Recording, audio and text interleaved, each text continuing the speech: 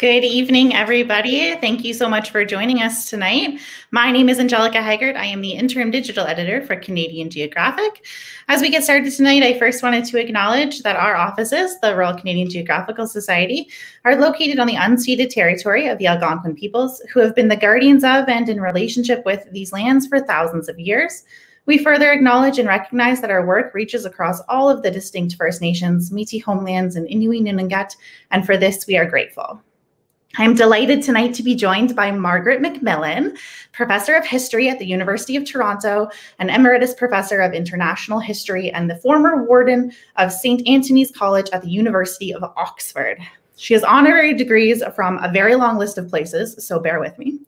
The University of King's College, the Royal Military College, the University of Western Ontario, Ryerson University, Huron University College of the University of Western Ontario, the University of Calgary, Memorial University of Newfoundland, Bishop's University, and the University of Toronto. In 2006, Professor MacMillan was invested as an officer of the Order of Canada and in 2015 became a companion. In 2018, she became a companion of honor in the UK. And of course, she is a fellow of the Royal Canadian Geographical Society. Her recent book, War How Conflict Shaped Us, is a provocative view of war as an essential component of humanity and our history. Margaret, thank you so much for joining us this evening. Oh, I'm delighted. I'm delighted. And thank you very much, Angelica, for that very nice introduction. Um, you may wonder why I'm talking to you about war when we're all in the midst of another great crisis, the, the pandemic, and possibly other crises to come. But I think there is something at least similar among the great sort of crises that have marked human history, whether these are pandemics like the ones we're enduring today, or the Black Death, of course, in the 14th and successive centuries, whether these great crises are revolutions whether they're economic collapses or whether they're great wars. I think they all have certain things in common, and that is that they have often changed and affected the course of history. And, and I, I think this is, of course, why we are fascinated by them. But they also say things about the societies that are affected by them. Great crises, great wars, for example, uh, test societies and test their leaders. How societies respond and how those leaders respond is affected by what they have been before the crisis hit. And so a society that is strong to begin with will respond in different ways from a society that is weak. If you think of the First World War, for example, an enormous strain on all the societies that fought in it, a strain both in terms of the demands on the human beings who went and fought and, and died in large numbers, but also a tremendous drain of resources and it required societies to organize themselves in ways that they hadn't really thought possible before. Some societies responded and managed. Of course, they were damaged by it. But Britain, France, even Germany, and of course the United States came out of this First World War still recognizable, still with their institutions, both social and political, intact. Russia and Austria-Hungary did not withstand that strain. Austria-Hungary vanished literally from the face of the map. It was finished. And Russia endured a revolution and then civil war, and then, of course, 70 years and more of communist dictatorship. And so, how Russia and Austria Hungary responded was different from the ways in which other countries responded. And I think what great crises, great wars can do is show the weaknesses in societies and sometimes make it impossible for those societies to continue on. But we know, and I think we're feeling it at the moment, that great crises can also oblige societies to reform themselves, to change the ways in which they do things, sometimes can produce beneficial results. Now, of course, we would not choose to get beneficial results in this way because the cost is very high, often, often unbearable. But it is one of the many paradoxes of the crises of history, and again, I'm thinking about war and, and the others, that sometimes they produce results which are beneficial in peacetime we see this if we look at the past. Wars have promoted social change, for example. I think without the Great World Wars, women would have taken longer, certainly, to be fully integrated into political and economic life and social life in their own countries. Britain had resisted, the British government had resisted giving votes to women before the First World War on all sorts of grounds. But the basic argument was that women wouldn't know how to vote, they weren't involved in society at large. They, they wouldn't know what to do with politics. No point in giving them the vote. And of course, during the First World War, women filled many of the jobs that men had been doing because the men were needed at the front. And they showed that they could do those jobs. And their contribution to the war was recognized by the British government, as was the contribution of the British working classes. Very much the same sort of arguments had been made in the past about not giving working class men or working class women for that matter the vote because they weren't equipped educationally or in any other way to take part in deciding on the affairs of state. And what the First World War showed was that labor, as much as women, were essential to the war effort. And even before the war ended, the British government passed the Representation of People Act, which gave the vote to all working class men and gave the vote to all women over 30. And eventually, of course, that became all women as well. And so social change can often be expedited and speeded up by war. And so can changes in things like science and technology. What is too expensive in peacetime becomes essential in war. And an example, which I'm sure many of you will know already, is that of penicillin. It was discovered how to make penicillin well before the Second World War, but it was considered much too expensive to do. There was simply uh, no, there were no resources big enough to put this new potentially life-saving drug on on on on the market. When the war came, of course, suddenly the expense became less important, if not irrelevant. And penicillin was produced. It suddenly became possible to produce it and saved, of course, the lives of countless soldiers in the Second World War, but has also saved the lives of millions since. And so war can be an accelerator for better or worse of social change and can speed up innovation. Innovation, too, in the ways in which we govern ourselves. Governments, especially in great wars, tend to take great control over society and tend to find that they can squeeze resources out of societies through taxes and through allocation of, of resources and labor in ways that they hadn't imagined possible before the war. And once they have learnt that, governments don't always go back to pre-war days. They, they take, and you can see this pattern in the 20th century, they take a more interventionist role in society. And so war is something like these other crises I've mentioned, something that both can shatter societies, but in a curious way can make them stronger, can promote the sort of changes that make those societies fairer and, and juster. And a lot of research has been done by people like Thomas Piketty, for example, or, Walter Scheidel in California, arguing, and I'm persuaded by their arguments, that the times of greatest equality in many societies in the world, from Japan to Canada, came after the two world wars because the gap between the rich and the poor had been leveled or brought closer in the in the war years, and much of that lingered on. So the periods of greatest equality in the modern world have been right after the two the two world wars. so that's one of the things we think about when we think about war. And one of the things I find fascinating, this paradoxical nature of war, that it is immensely destructive. We know that. We know the costs of war but it does have these consequences, unintended consequences that can sometimes make societies different and indeed, I think, can make them better. Another paradox of war, I think, is in our own reactions to it. War is something that both fascinates us and repels us. And I think we need to deal with both those aspects of war. We all know the horrors of war we all, I think, are aware of, of the costs of war, and, and we can see it even in, the memorials around us with the lists of names on, on them of, of those who have died, often very young people in war. But I think we also have to admit to ourselves something of the attraction of war. If you go into a bookshop, you will see row after row of books on war. Some of the greatest works of art in the world have been produced by war, and not always to condemn war, although, of course, many have been. Picasso's Guernica, one of the greatest paintings, in my view, of the 20th century, was in reaction to the bombing of a small and defenseless Basque town in the Spanish Civil War. But you also get great epics, like the Iliad, for example, which in their own ways, I think, show the horror of war, but also show something of the glory. And I think that fascination, that intrigue of war is something that we need to accept in ourselves. It is something that we puzzle about, we wonder about. We admire it, I think, in a way, the fact that those who, who fight in wars can behave in altruistic ways and can behave in brave ways that we, most of us in normal societies, wouldn't be expected to behave, and, and in fact would be surprised if, and perhaps horrified if we found ourselves in that position. So war brings out both the best and the vilest in human nature. If you read war memoirs, and I'm sure many of you have, and I've, I've read a great many, what a lot of the soldiers will talk about is the comradeship, the fact that they're with people who will quite literally die for them. And they will probably be prepared to die for those people as well.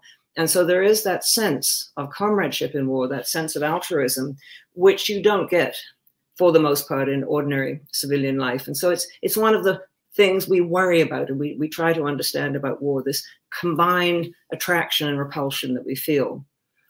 There are, of course, a great many questions about war and a great many debates about war, and I'm just going to touch on a few, but let, let me raise one of them because it is, I think, very important if we're trying to grasp the impact of war on human society, and that is how far back it goes. You know, there is war in almost every year of recorded history.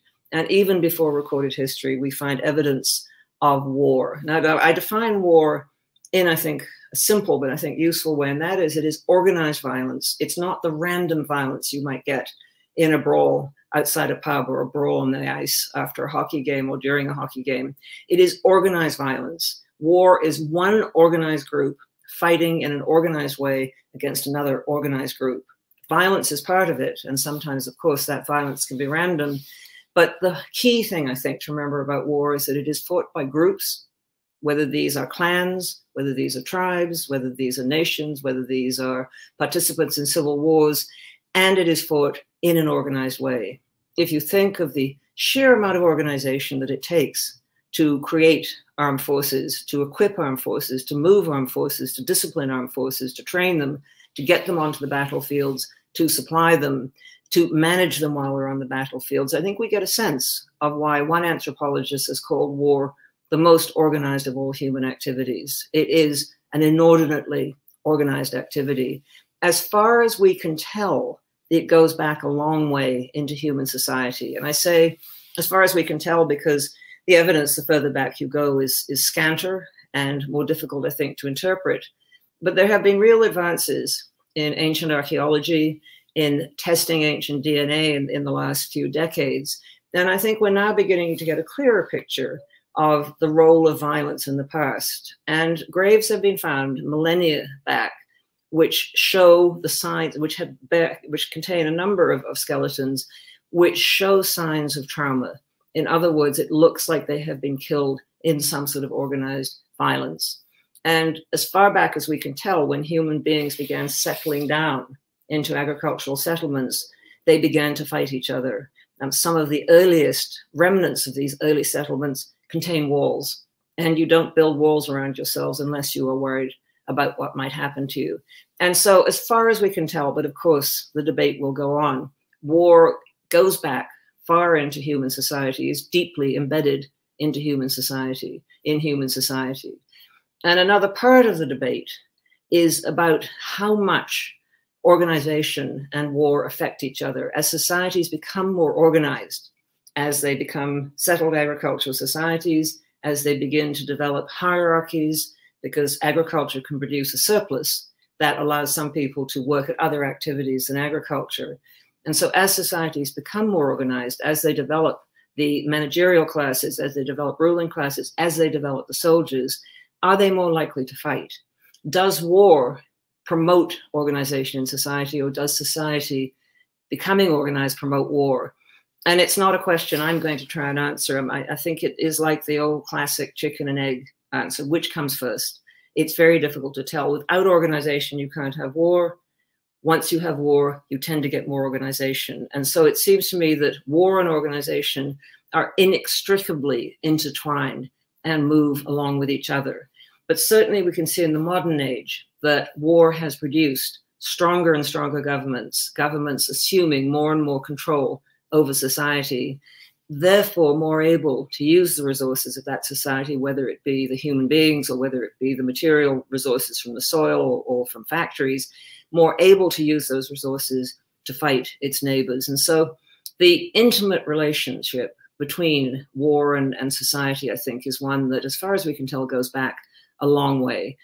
One theorist has said that the war, the war made the state and the state made war. And I think it's as good an encapsulation of, of this complicated relationship as you can get.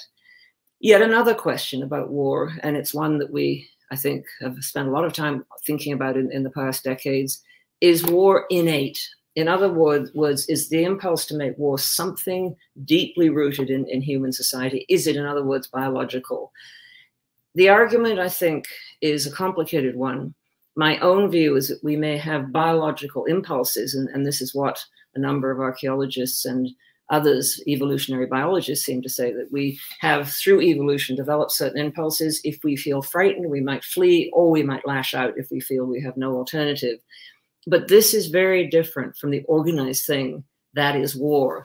And I tend to come down on the side or support the side of those who say that war is affected by biology, but it is much more culturally determined in fact, biology, in a way, may run counter to the need to make war the requirements of war. If, if your impulse biologically is to flee or to lash out randomly, then in fact, you don't make a good warrior.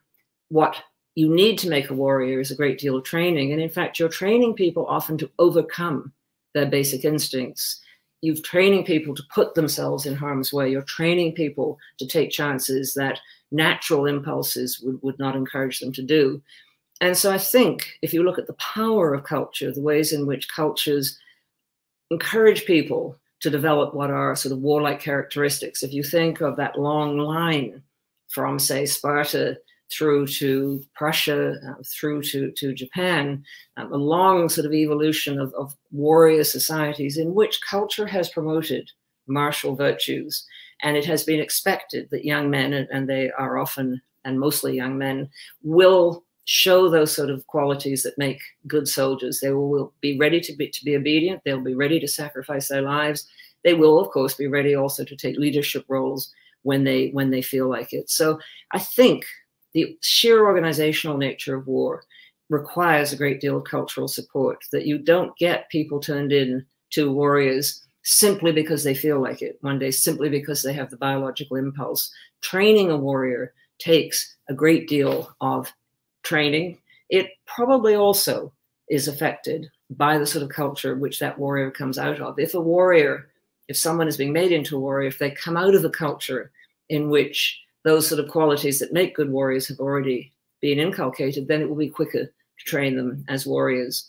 And so war is something I think that is very culturally driven. It changes, of course, with the nature of those societies which fight it. And so if you get societies which are very hierarchical, in which very few people control the means of wealth, in which there is a warrior caste, most people will not be expected to fight. War will be something that is done by elites. And so when you get changes in society where more and more people become citizens, become participants in society, then conversely, more and more people will be called upon to fight, and in fact, will feel that they should fight to defend that society. War also changes with innovation and technology. Certain things will come along which will transform war as long as the societies that are fighting or preparing to fight are prepared to use them. And so when the horse began to appear in Central Asia and then began to move out of Central Asia, it promoted a new kind of fighting. People on horses could fight in different ways. They could fight faster, they could maneuver more than people on foot. When steel was developed, weapons became that much more deadly than when they were made out of bronze or iron. And of course, when gunpowder in the modern age, when gunpowder began to be used for war, then war took on a new and more deadly aspect. And so we have moved through various stages of innovation. And of course, today we are now co contemplating the meaning of artificial intelligence in war, and a whole new arena uh, is opening in war. And so I think we look at war, and we should look at war, not just as something that involves the military going out to fight. That is part of war, but I think a very important part of war is the underpinnings of war, the culture, the people who fight, the nature of those who fight, the societies who organize the fighting, but also the weapons with which they fight, the technology which they have available. Of course, not all technologies are adopted, not all technologies become part of war. Uh, the Japanese in, in the 18th century had the opportunity to use gunpowder and to use modern weapons more than they wanted to. And for various reasons, they chose at that time not to adopt them. And societies also change culturally. If you think of what Sweden used to be like In the Thirty Years' War in Europe's 17th century, Swedish soldiers were a byword for their ferocity and for their cruelty. And even into the 18th century, if you were anywhere around and Swedish army came marching along, you'd want to get out of the way. You, the Swedes were not the sort of people that they have since become. I mean, we now think of Sweden as, as a very passable, peaceable society. Sorry, I didn't mean passable, I meant peaceable, very peaceable society, which is both tolerant and, and cohesive. Um, this was not the Sweden of two or three hundred years ago. And so change happens. If you think of Prussia, which lay at the heart of the new state of Germany in the 19th century, it was a state in which certainly the upper classes were encouraged to think of making war and encouraged to prepare themselves for war. And of course, Germany today is a very different country, as in fact is most of Europe. A recent book has asked about the Europe of the post 1945 period where have all the soldiers gone? There has been a tremendous cultural shift in Europe, um, in countries right from Britain, right across eastwards to, to, to the middle of Europe, where people no longer see fighting and war as something that is desirable. And that cultural shift, I think, is, is extremely significant. Yet another question. I'm going to stop soon, but I just have a couple of questions um, that I want to just put out there, and I'm hoping you will ask me some questions. So I just, this is not the COVID, this is hay fever, so excuse me. Um, the role of women in war. Um, it is striking that something like 99.9% probably of those who have fought in war have been men, at least up until the present age. And it's a question. It's a it's a very interesting question. And again, there is debate about it. Is it biological? Is it cultural? And again, I would come down on the on the cultural side. Mean, the argument used to be that men were the warriors, women were the nurturers. That women stayed at home, women tended the family, looked after the hearth, while the men went off to fight. But if you look through the past, you can find, and people are finding more and more examples of women who did fight. It used to be thought that Amazons were a figment of the Greeks' imagination, something that the Greeks had probably dreamed up to terrify themselves. The idea that you could have women who would be so unnatural as to fight was as terrifying as something like the Medusa. Now we know, thanks to archaeologists, that in fact there were women warriors in the classical period. Tombs, grave sites have been found around the north shore of the Black Sea, for example, which have skeletons in them, surrounded by what appear to be weapons. And those skeletons can now be identified as the skeletons of women. And so the myth actually turns out to have been based on reality. And of course, through history, there have been women who have disguised themselves as men and who have fought very successfully. In the Second World War, Soviet women fought in combat roles. They volunteered, they fought as fighter pilots, they manned artillery artillery battalions, they fought as guerrillas. There's a wonderful book, if you have time to read it, by Svetlana Alexievich called The Unwomanly Face of War, where she interviews a lot of these women who did fight for the Soviet Union in the Second World War. And today, of course, women in a number of armed forces around the world are not just in the armed forces, but they're in combat roles. I was I was at a Zoom seminar recently with a group of, of mid-career officers in Washington who were doing an MA in in in strategic studies, and we went around the table and they all introduced themselves, and I was uh, surprised actually by what some of these young women were doing. One who looked to me very young indeed told me she was a fighter pilot in the Marines another one was was in military intelligence. And so there seems to be now in modern armies not so much distinction between the sorts of things that men and women do anymore. And if women also women have been involved in, in wars in other ways if they haven't been combatants as much and that's certainly true to the modern time they have unfortunately suffered the consequences of war. They have been along with of course male civilians of all ages they have been war's victims we tend to forget perhaps just how much of a price civilians pay in war and how, how dreadful war can be for civilians. So often civilians are attacked as a way of weakening the will and the capacity of the other side to want to fight on. Uh, and women also suffer a particular fate in war. They're often prizes of war. They'll be carried off to be made part of, of some victorious man's household. And rape is used as a weapon of war against women in Bosnia, for example, in the 1990s as Yugoslavia broke up. Serb nationalists, some of those um, ruthless groups made up of Serb nationalists, deliberately raped Bosnian Muslim women as a way of trying to destroy the Bosnian Muslim race and also to destroy the will of, of the Bosnian Muslims to fight on. And finally, we should not forget women have sometimes been cheerleaders for war. And women are not always pacifist, although many have been, but they have also acted as cheerleaders. You need only think of the women who went around in the First World War, both in the United Kingdom but also in Canada, handing out white feathers to men who were of military age but weren't in military uniform to understand the role that women can play as, as cheerleaders.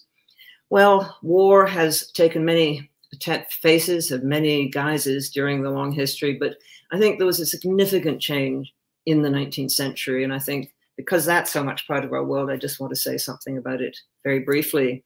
In the 19th century, two major changes affected war and its relationship to society. And they came almost at the same time. And so, in no particular order, these were nationalism and the Industrial Revolution. What nationalism did, and it predated the French Revolution, but I think was very much part of the French Revolution, was create a new relationship between peoples living in a society, a new relationship between those who ruled and those who were ruled. And so, where peoples were largely subjects of their rulers, they became citizens. In other words, they participated in the affairs of state and they had a say in what sort of government they were going to get. And that meant a number of things. It meant that people identified or came to identify more passionately with their own nation, their own state. But it also meant that they had a corresponding obligation now to come to the defense of that state. And so a new sort of relationship was created. And the wars fought by nationalists, the wars of the nations, tended to have a ferocity that the more limited wars of the 19th century, of the 18th century didn't have, because it was no longer just armed forces fighting against each other or one ruler fighting against each other. It was now a whole people, and that meant that the possible opponents expanded as well, because you're no longer, if you're fighting as a nation, fighting just against an enemy army or enemy navy. You're now fighting against a whole people and a whole society, and so war became more vicious and its objects greater in the 19th century and because of the Industrial Revolution, that became a reality. You can have great, great, great aims of, of, conquering your opponents, but if you don't have the equipment to do it, then you're not going to be able to achieve those aims. But by the 19th century, and as the century wore on, this was more and more the case, it became possible to attack the other side and to keep up a war over long periods of time and over great stretches of country. And so the Industrial Revolution made it possible to move a lot of soldiers around, made it possible to feed them, keep them in the field, and to produce all the equipment they needed to fight. That in turn, the horrors that, began to appear in war, the total wars that began to appear in the 19th century, and then, of course, in the 20th century, sparked yet another round in what has been an equally long attempt in human history, and that is to control war and to limit war and perhaps even to outlaw war. Because almost as soon as we got war, we began thinking of ways in which we could possibly limit it and get rid of it. And so there is almost an equally long history of peace peacemaking and peace movements as there is of war. From the Greeks, for example, who did not fight wars on special days or, or during the Olympics, right up to the present, where we try to limit war and we try to do arms agreements, we try to set up rules of war. And in the 19th century, in response to what was happening to war, we got a renewed attempt to do this. And we still have it, of course, today. So, why should we look at this long and, and rather horrible history of war, uh, which I've sketched out very briefly? Why should we not simply stop thinking about it? Uh, perhaps it's even a mistake to try and, and look at war. And I, my argument is that its impact on history has been so great that we need to take war into consideration if we're to understand how the past turned out the way it did and how our world turned out the way it did. We just have to ask ourselves what the world would be like if certain wars had gone the other way. If the Nazis and their allies had won the Second World War, what sort of world would we be living in? If earlier on the Ottoman Empire had managed to conquer the central center of Europe, which it came close to doing on a couple of occasions, would the whole history of Europe have been very different? And I think we can say that it probably would. I think there's another reason, however, and I'll leave you with this thought why we need to study war. And it's not just because of the past, but because war is still with us. A lot of us living in the Western world have been extremely lucky. We've lived in a world that has seen peace. A lot of people talk about the long peace that has existed since 1945, since the end of the Second World War. But that long peace has only been for certain people in certain parts of the world. There has been a war almost every year, somewhere in the world since 1945. Millions of people have died since 1945. Millions more have become refugees and have suffered the consequences of war. And so I think we need to think about war because it is still very much with us. And I suspect it is going to be with us in the future. The preparations for wars still go on. And so, why I want to think about war myself, and I hope perhaps you will think about it too, is that it is something that we need to take very seriously. And we need to do our best to try and understand. I, I don't want to end on a pessimistic note. And I think we can take some confidence in the fact that so many around the world don't want war. But I think we always have to be prepared for its possibility. Thank you. Thank you so much, Margaret. That was so fascinating. I, as a child, I had was lucky enough to have a great great grandmother alive at one point, and uh, listening to the stories, even though I was probably too young to hear them, of my my great great grandmother and my great grandmother and their their duties during the war, um, has always fascinated with me. And so I was especially interested in your comments about women in the war, um, and I definitely enjoyed those parts of your book. We have so many comments coming in on our chat, so thank you so much to everybody who has sent a, a question so far. Please continue to send your questions. I'm going to ask Margaret your questions for you, um, and we will get to as many as we can, I promise. Um, so, uh, of course, there is, you know, this global pandemic that is happening, which is why we are virtual today instead of in our lovely Alex Trebek Theater here at 50 Sussex. And so a few uh, questions have come in, one from Tom Cullen what lessons from the crises of, of war might we take into the crises of COVID and then even further into the crises of, of climate change and climate breakdowns? Well, I think what lessons we should take is, is to look at what's worked. And what has worked in the present pandemic has been, I think, um, leadership. I think it does matter, but leadership is no good without people who are prepared to follow those leaders. And we've seen in countries where there is a degree of trust between the leaders and the people, and it goes both ways. You know, I think leaders have to trust their people to actually understand the gravity of what is, is, is going on and to understand the recommendations that are being made. But the trust has to be also people have to trust their leaders that they are actually doing their best. And the societies which have had that degree of trust and have had competent leadership seem to me to have coped best. And these are mostly, but not all, democratic societies. I mean, clearly China is not a democratic society, but I think in China, the public has confidence in its leaders. It, it certainly has criticism as well, but I think they have confidence in the leaders.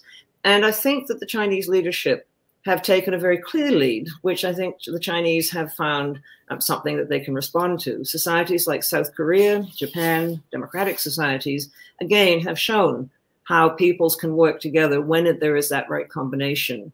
And so I think what we can take from that is that we need to really make sure that we have strong social institutions and that we have a society in which all segments of society are cared for. I mean, some of the worst COVID rates have been in societies where the poor have simply not been given the resources that they need and not given the resources normally and are not been given the resources during this period. And so I think we, we can take lessons from this. We can also take some confidence that when we face as, as, a, as a species a big crisis, we can sometimes rise to the challenge. So let's hope we can do it with climate change. I guess to uh, to elaborate on that and to look at kind of the developmental roles that war has played in the past, can there be a developmental role um, in the crises uh, like cold, like the the Cold War and the crises that require mass mobilization, like these pandemics? Can they play a similar developmental role?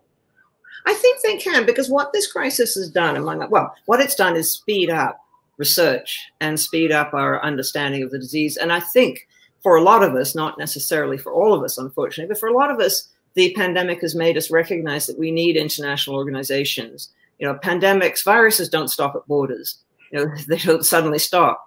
And I think we've realized that this is an international problem. And I think there has been a high degree of international cooperation. I think one of the problems, of course, has been that the United States, the most powerful nation in the world, has not taken a leadership role in this and has just chosen this moment to withdraw from the World Health Organization. And that, I think, is a pity. But we can do it. We've, we've shown that we can do it. And I think what's also been shown during this crisis is that governments can spend money when they need to. You know, there's been a lot of talk about austerity and, and balancing budgets and cutting back expenditure.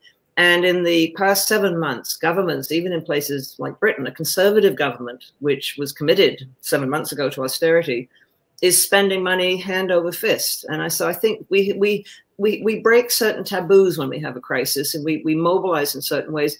And let's hope that we remember we can do it. I'm not suggesting we need to go on spending money wildly for, for, for the indefinite future, but let's realize that we can mobilize the resources of society and that we can actually co cooperate with each other to deal with crises. Um, another question here from uh, Aaron Huguet. I apologize if I've said your name incorrectly. Um, what, in your opinion, are the most significant tech advances or innovations out of the Great War era? Well, out of the Great War era, um, both good and bad, um, poison gas was a big technological advance, unfortunately, and still is still with us um, improvements in weapons, the aeroplane, a tremendous amount of development during the First World War. And of course, the tank was the great technological, one of the great technological innovations of the First World War. But there were also very important innovations in medicine and in things like feeding populations and the use of rationing and, and, and beginning to understand nutrition when it came to feeding civilian populations and soldiers. But huge advances in medicine, I mean, it, in, a, in a horrible way because there were so many wounded to practice on, or not practice on, but because they, they needed to be treated. But big advances were made in treating trauma on and off battlefields and in things like like facial reconstruction, um, because so much damage was done to to, to people through artillery in, in the First World War and, and through gas. And so, yes, there were technological innovations. And, and what war tends to do is speed it up. Same thing happened in the Second World War. I mean, the jet engine comes out of the Second World War. Um, as a last uh, as a last does does the atomic bomb. But wars tend to speed up technological innovation. Speaking of technological innovation, obviously today we are living in the world of, of AI and drones and all kinds of different things. And so Cecile's question here is, will tech advances like drones and, and AI, will they separate societies from war? That's a good question, and I think a worrying one, um, because what high technology can do is detach the people exerting it from those it's being exerted on. And so you can get people in the Southwest United States directing drones to targets in Afghanistan and not necessarily seeing the consequences of what those drones do. And I think it might be possible for people not to really feel the consequences of what war does. Um, so I think, yes, there is a danger. And I think there's a, there's a more general danger, and that is that whatever wars have been fought since 1945 have been fought in the, mostly in the less developed parts of the world. And so it's easy enough, or too easy for, for us in the developed world to say, oh, well, it's just happening over there, and those people tend to fight a lot. I mean, that was the sort of thing that was said when Yugoslavia was breaking up. Um, so there is, I think, that is a worry. Is there is there anything we can do to to better adapt to to using those kinds of technologies um, and recognizing like how they play a role in war?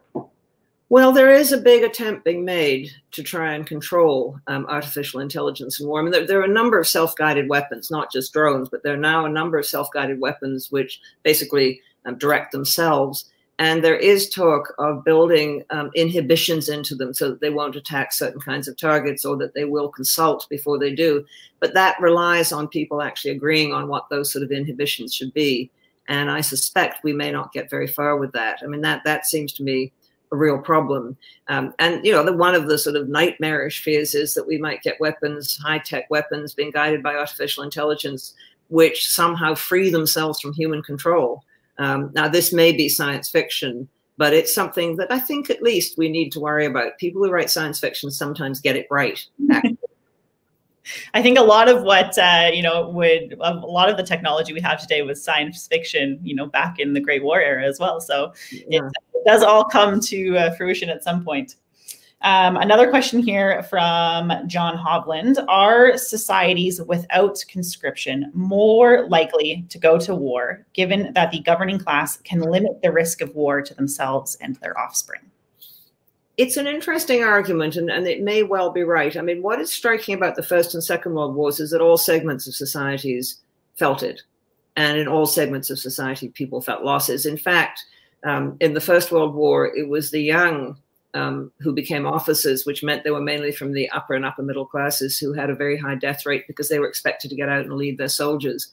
Um, you know, so, so, sometimes I think, you know, that yes, I think that can that that is important that you should get some sort of sharing of the burdens of war, and what conscription can do and it, the evidence is, is quite interesting, is it by throwing together people from different social classes and different areas and dis, different ethnicities, it can actually make them more aware of each other and, and make them get on with each other. Um, you know, what, what comes out in, in, a number of the things, a number of the letters that young British officers wrote home, for example, in the First World War, is they, they had to read their men's letters, but they had to censor them. And they often made comments like, you know, these, these people have very good, you know, they, they have very good ideas and they care about poetry and they care about the same things we do. So I think war can be a social leveler as, as well as an economic leveler. And so I think in that way, conscription is good. But the danger of conscription, of course, is that you get mass armies and the temptation to use them is that much the greater. We seem at the moment to be moving to small professional armies. And of course, the danger there is that those who go and fight and get killed don't really leave an impact on the rest of society. And increasingly, you see in countries such as the United States, people who go into the armed forces being drawn from certain sections of society, often rural recruits or people from the poorer parts of the big cities. And so, for a lot of people in elite positions in politics or universities or government, they just don't know soldiers. And I think that makes it perhaps easier to use them and not worry about them. So yeah, I think it, it's very tricky. I mean, I think there are arguments on both sides, um, both for small professional armies and for conscription. Um, kind of along those lines, Susanna asks, do you think war creates more inequity or does it simply expose inequity that already exists? It's, I think, depends very much on the war. Um, and, you know, I think the bigger, you know, the, the, the more total the war, the more that war involves the whole of society, I think it can bring greater social equality. Um, it depends very much on how those in charge deal with it. I mean, if the burden is not fairly shared, if, for example, you, you get people who can simply ignore rationing and can buy whatever they want, then I think that begins to have a very bad social impact. But if you have a society, if you have some Britain, and Britain wasn't perfect during the Second World War, but even the well-to-do found there were certain things their money would no longer buy. Um, and that I think was a very good thing. And it was good on both sides. I think it made the rich realize they'd been living in a protected bubble, and it, it, made, it was good for the rest of society to see this happening. And so war can certainly expose social inequities, but it can sometimes, depending on what governments and societies do, it can actually level off some of those inequities. Um, you know, they say that children in the poorer parts of London, for example, were eating better during the Second World War than they had ever eaten before, and you could see it in their growth rates. Um, they were they were they were bigger and they were healthier because they were getting balanced diets, which their parents had not been able to afford to give them wow, I, that's so fascinating. I had no idea. Mm. Um, another question here uh, If we recognize that major wars lead to social upheaval, can we consciously use war to promote good? Um, promoting good is, is tricky, isn't it? Um, it's who's defining it and what good is. I think we don't use wars to promote good, but I think we use war sometimes to avoid evil. And so the choice, I think, for the democracies in 1939 and in the years after was what to do about the Axis powers and how to stop them. And there was no way of stopping them short of war. Um, they were bent, Hitler in particular was bent on war, and, and the Japanese militarists then became bent on war. And so you can't stop nations or peoples like that once they decide on war, except by fighting yourself, by, by applying force against them. And that's not necessarily creating good, but I think it's avoiding a greater evil. I think the democracies were right to fight against the Axis powers in, in, in the Second World War because the alternative would have been literally horrific. Uh, another question here. Uh, while war may be cultural rather than biological, if the tendency to become organized, such as when molecules form complex structures and evolution marches from on from amoeba to more complex organisms, that tendency to become organized is, inevit- is inevitable. Is war inevitable in the human species? And is there a way that society can continue to progress without war being involved? Well, that's the old, old question. Um, and it goes right back, I think, to the first times we become organized. I mean, the evidence is that with organization, you you you get war. Um, it's possible to wage war once you're organized, and and the fear of war will make you more organized, and the need to wage war will make you more organized. Um, yes, of course, it's possible to do it in other ways, and it is possible to use organization for good ends, not for warlike ends. And we we've done it before. You know, we we can see it during the pandemic. We can see that it is possible for us to work together for a common goal, and and people work. I mean, one of the things that has struck me I mean, we've read lots in the papers about people who've been breaking quarantine and going out and going to parties. But what really strikes me is how most people have accepted and understood the restrictions on their movements and have actually organized themselves at the grassroots to do things. I mean, I, I was very struck in Toronto, but also in the UK, how neighbors got together to organize to help each other, to help those who couldn't get out, who were too frail, and also just to set up things like food kitchens for, for the neighborhood and to take meals to people who couldn't cook their own meals. So, you know, I think we have the capacity to organize ourselves for peaceful ends, and we certainly do. But so often throughout history, we've organized for war, and and I don't see it going away anytime soon. I'd like to think it would, but I think you know we will continue to organize for war. We have to hope we don't use it. Um, looking back again, we have a question here from uh, Gavin Fitch, um, a name I'm sure you will recognize.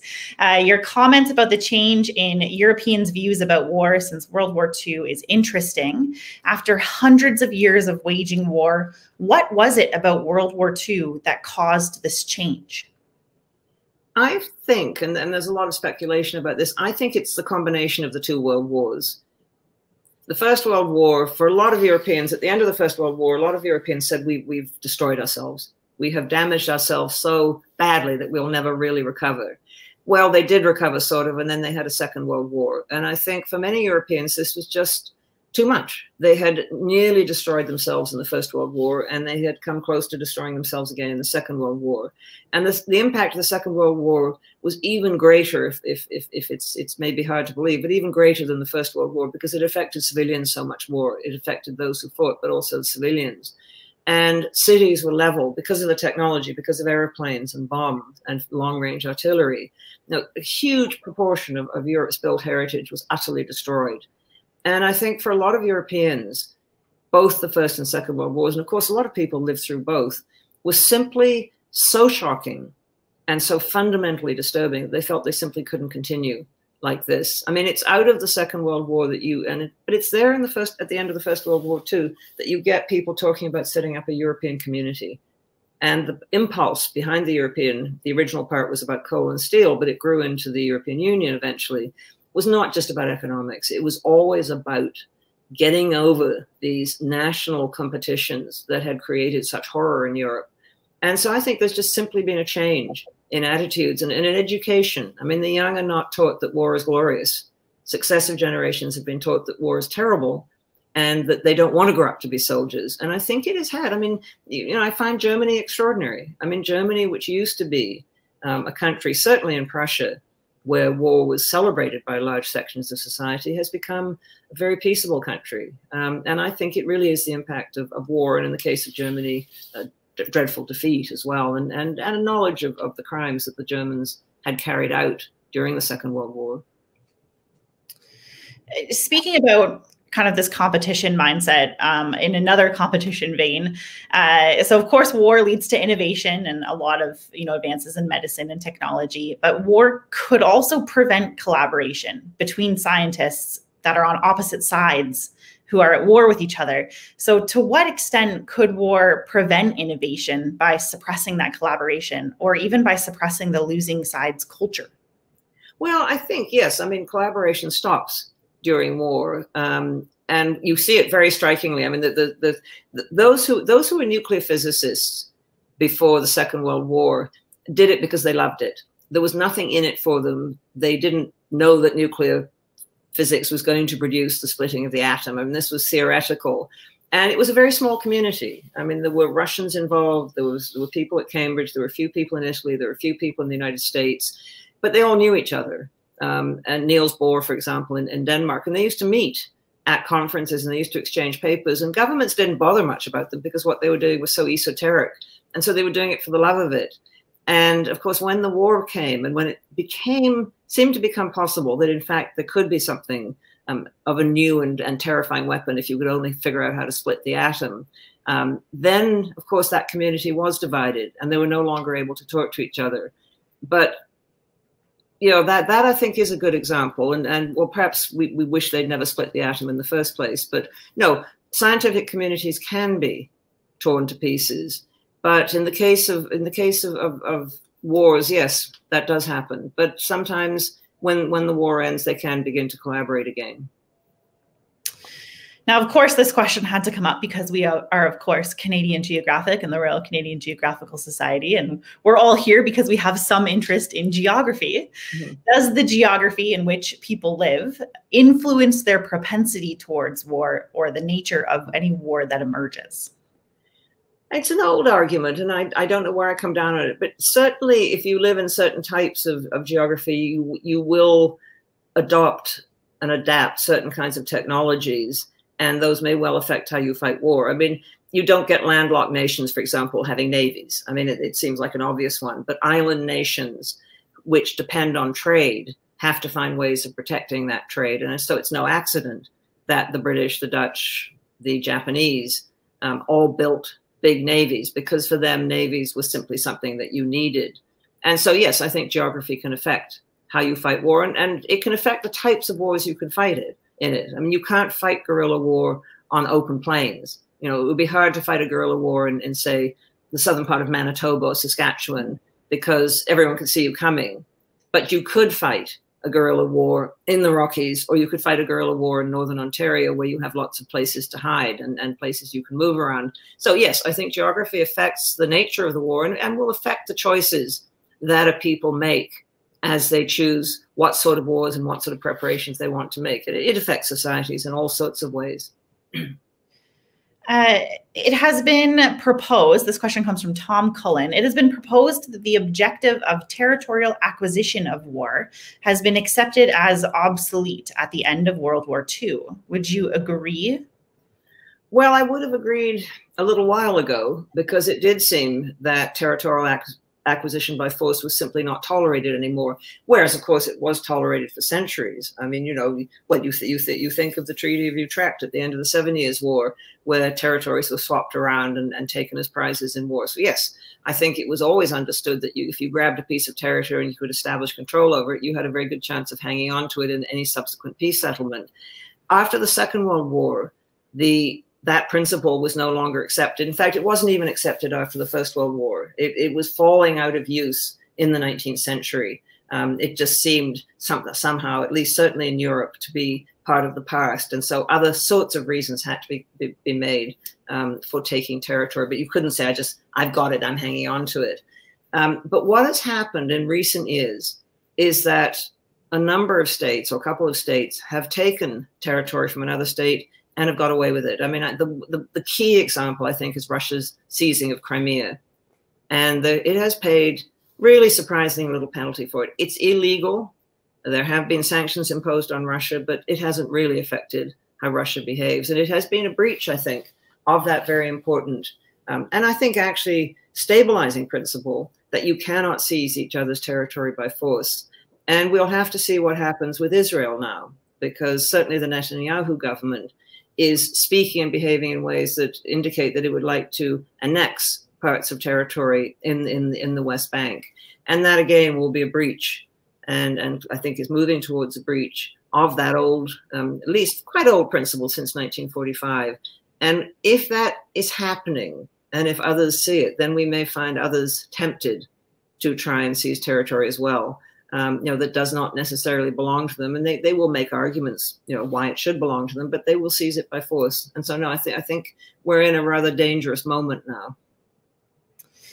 when it comes to war as an overall concept we've obviously we've we've discussed you know both the catastrophic and the positive but when you look at war on a micro level the boots on the ground soldier is there any kind of of impact that's not catastrophic for those for the the individual you have to ask the individuals themselves and what is interesting is is their evidence is mixed um, you know fighting is something that a lot of soldiers don't ever want to do again. But we have to accept the fact that there are some who enjoy it. There are those, you know, like Achilles in, in the Iliad, who are see themselves as warriors. That's what they are, and that's what gives them meaning. And I think of a more modern, um, not equivalent exactly, but a more modern sort of a cultural uh, telling of war. And, and, I don't know how many of you have seen The Hurt Locker, um, very interesting movie about a bomb disposal expert who is in Iraq, it looks like, I think, and lives on the edge and is constantly on the edge, comes back to the United States and cannot adapt. He misses um, the, the sort of excitement and he misses the adrenaline. So there is that side. I mean, there are, these may not be many people in this world, but there are those who find something in war that is exhilarating. And there are those who remember war if they survive it as something where they did have this comradeship. It's the thing that comes out again and again. And you get it, you know, in that, that wonderful novel, All Quiet on the Western Front, where the protagonist goes home and he said, I want to be back at the front because they were my friends and I want to be with them and I want to know what was happening to them. And so this is not something that, you know, all soldiers feel, but it's certainly a part of war. And I think that's part of the reason so many soldiers after wars join veterans associations because in a way it, it enables them to, to keep something of that side. So not all soldiers hate war, but I think a lot never want to talk about it again. I mean, equally common are those who never want to talk about it again and try and, and just let those memories go. Um, and sometimes, of course, very hard for them to go. I mean, you know, I've heard of people who kind of came back from the, First World War would never talk about it, but had nightmares every night. So how war affects people, I think, depends partly on, on what has happened to them in the war, but partly also on what sort of person they are or how the war has affected them. Now, before I let you go, um, thank you so much, everybody, for your questions. And thank you so much, Margaret, for your time. I have one more easy question for you. We're mm-hmm. going to put your, your book link um, in the chat again. I, there have been a number of comments of people rushing off to Audible to download the audio version. I read a digital version. So people are, are flocking to get your book. Um, and we're going to put that link in the chat so people can purchase it easily if they don't already have it. Um, but what book about war would be your favorite? And it can't be one of yours. No, well, I know I, I, would never choose one of my own as, as a favorite. What, what would my favorite book about war be? It's a difficult question. I mean, I think the Iliad is one of the most extraordinary books, and, and I read it before I started writing this book, and, and I've read it again often and I think it is absolutely extraordinary. But there are also they're wonderful novels. Um, a novel I, I hadn't read before I started doing this book was Tim O'Brien, The Things They Carried about Vietnam, and I think it is one of the great war novels. Um, it's a series of linked stories, and they're deceptively simple, but they're haunting. Um, they stay with you. And the one I mentioned earlier, the Svetlana Alexievich one, The Unwomanly Face of War. You know, she she's this extraordinary Belarusian writer. At the moment, I think under house arrest because she's displeased the, the ghastly president of Belarus. Um, but it's an extraordinary compendium of women's memories, which she weaves together with, with great skill. So I've got lots of favorites. Those are three that I'm thinking of at the moment. Perfect. Thank you so much for sharing. Thank you so much to everyone who has joined us this evening. If you are interested in helping us support uh, the, the talks that we do, we do another one coming up on December the 3rd with uh, Ian McMichael or Ian Dejardin from the McMichael Gallery in Toronto. So we're looking forward to that one.